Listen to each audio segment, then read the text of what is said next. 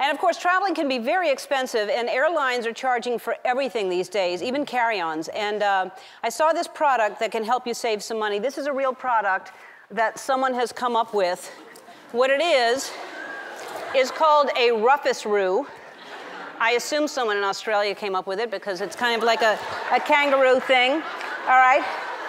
So it's a vest and it has all these pockets so you don't need to have a carry-on. So it holds everything like, you know, it could come up with, uh, like for instance, uh, you know, like your best-selling book or something like that. You could put it in there. Uh, could have another best-selling book. You could put it in there. You could have the newest best-selling book. Uh, you can just put it in there. You, there's uh,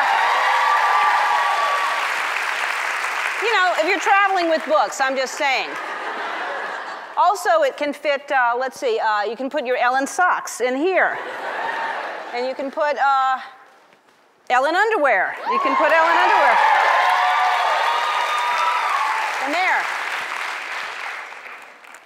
I'm running out of things, never mind. This, there's a lot of stuff you can put in there. And uh, here's the thing, what I, I found out that um, it's, it's nice if you can save on the carry-on fees like this, but it's very expensive to fly, it seriously is. And babies fly for free, you know that, right?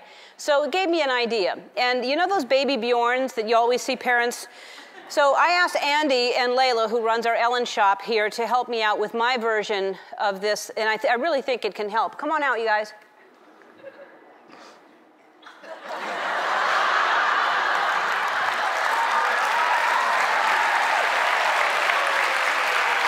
Ah.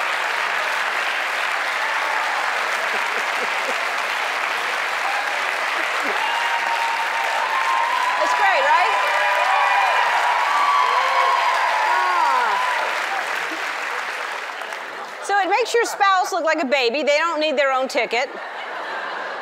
The one thing, it's great with your spouse, a little awkward if you're traveling with your grandma. That's the only, you kind of have to really know the person.